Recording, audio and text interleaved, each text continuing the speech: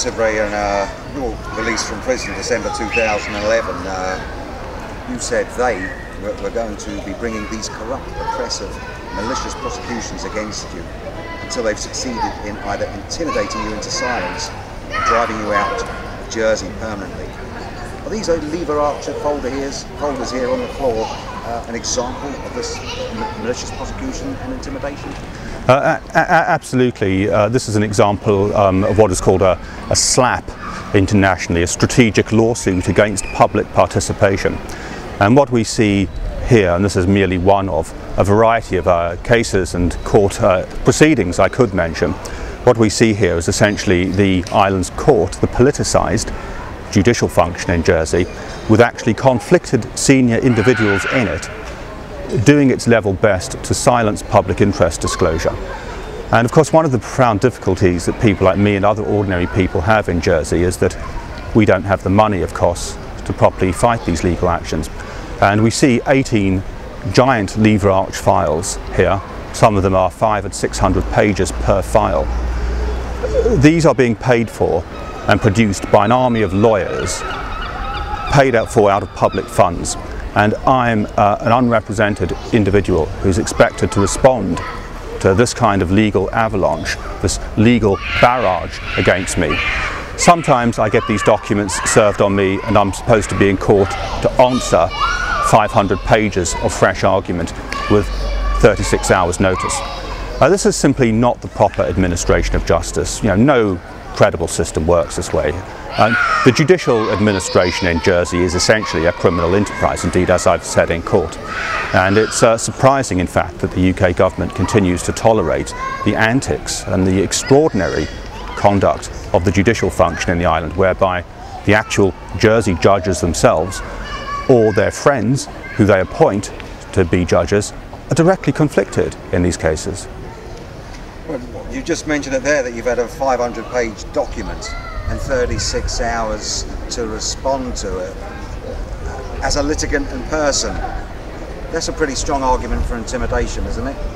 Well, that, that's exactly um, how these things work, I'm afraid, in places like Jersey. In most um, corrupt environments, the, the, the corruption, the coercion that's done to members of the public is much more crude and basic. In many other jurisdictions, they actually have gangsters and people that will come around and beat you up and things of that nature. Jersey's much more sophisticated than that. Here they engage in this kind of intimidation, this oppressive barrage of absurd legal cases and legal documents that they know perfectly well an ordinary person has no chance of responding to adequately, even if the courts were objective and impartial.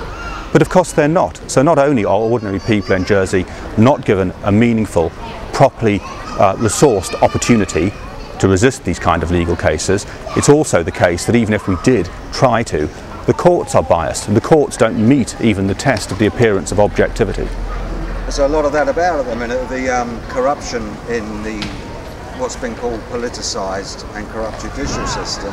Uh, you've taken your concerns regarding, regarding this alleged corruption to the Secretary of Justice who has responsibility for the rule of law and good governance in Crown dependencies. What kind of response have you had from him? Uh, the response that I, I get uh, is the same that all of the other many, many complainants from Jersey to the authorities in London get. We receive a pro forma dismissal uh, to the effect that, well, look, Jersey has a legislature, Jersey has a judiciary, you know, these are internal matters for Jersey and it's nothing to do with us. Now this answer is wholly inadequate and simply not lawful because the responsibility of the authorities in London, by their own admission, is that they have to ensure that Jersey has a real functioning legislature, one that's able to work properly and democratically. London is responsible for us having a proper, objective judiciary, the real and fair and effective administration of justice.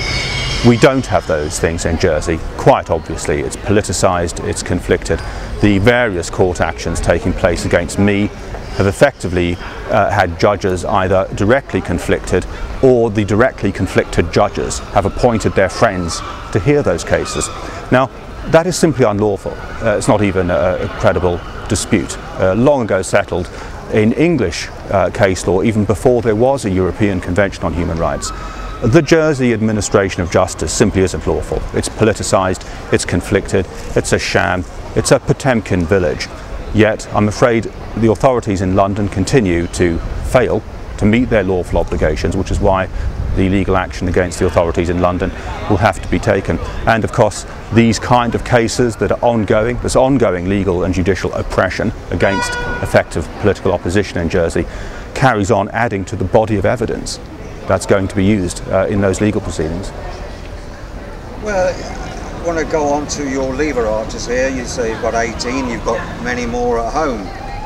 Probably hundreds. Probably hundreds.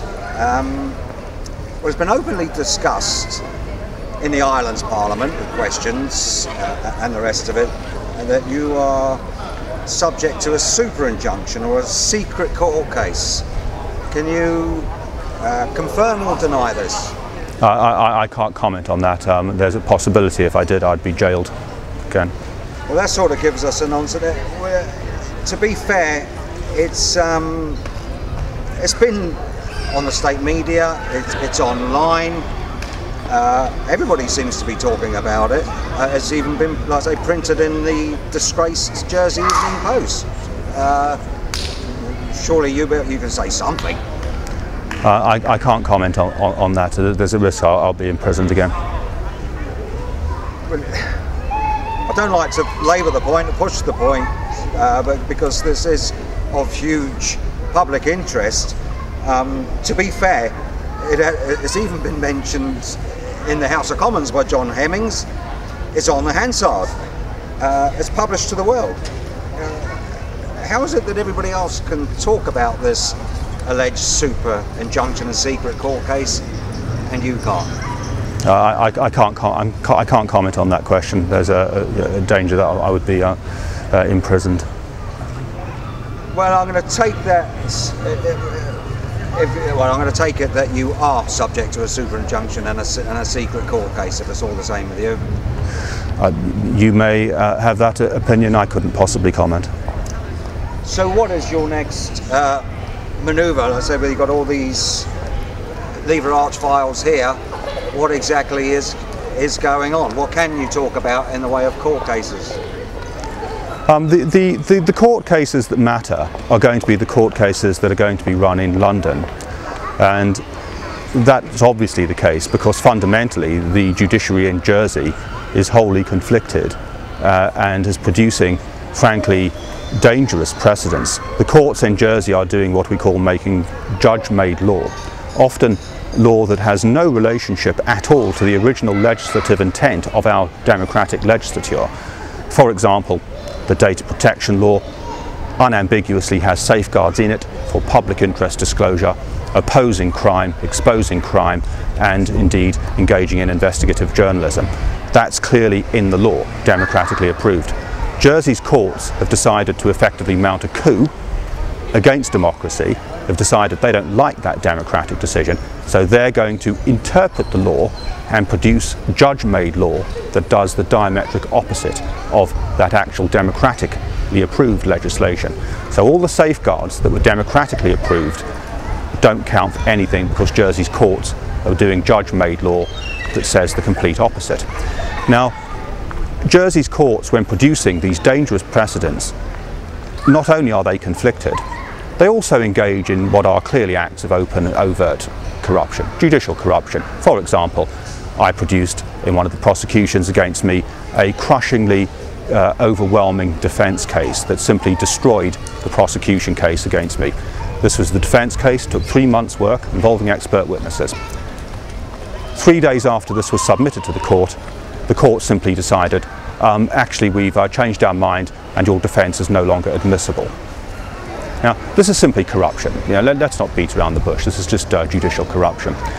But even though that's a profoundly unsafe set of court proceedings, engaging in clearly corrupt decisions and producing profoundly flawed judgments, nevertheless, those judgments enter the kind of case law archive, the judge-made law, that then affects all the rest of us.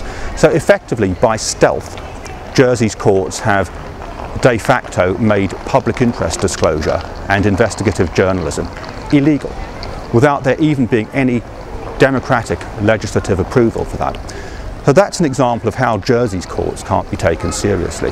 There are no functioning checks and balances to turn to in Jersey, which is why we have to enforce their duties and responsibilities on the Crown authorities in London via London's courts to ensure that we do in fact get a proper objective judiciary in Jersey.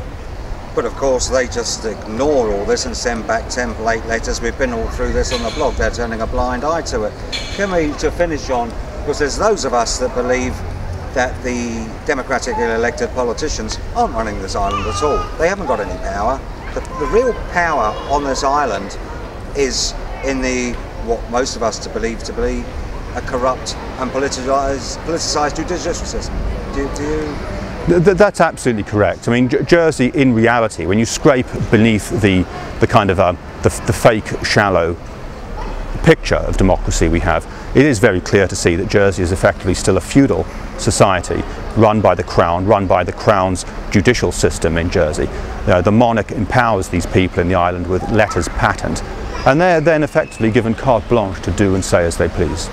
Uh, and they routinely override and treat with contempt the island's democratic processes and undermine the business of scrutinising government policies. For example, we see judges, like the bailiffs and deputy bailiffs, routinely interfering with the propositions and the questions brought by opposition members of the legislature.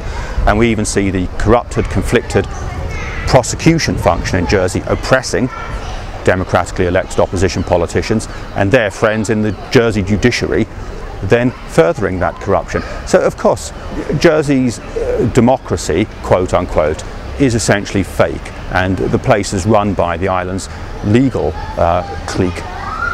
In the judiciary? Absolutely. The island's judiciary and the island's prosecution system is the real power in the island. And I think the authorities in London know that and they've been content for it to be that way for um, many, many decades, centuries even, which is why, as you correctly say, all of the people in Jersey who do write routinely complaints about abuses of their rights and breaches of the justice in Jersey to London, they simply get dismissed, which is why merely writing a complaint no longer will do and the legal action has to be taken to actually hold the authorities in London to account.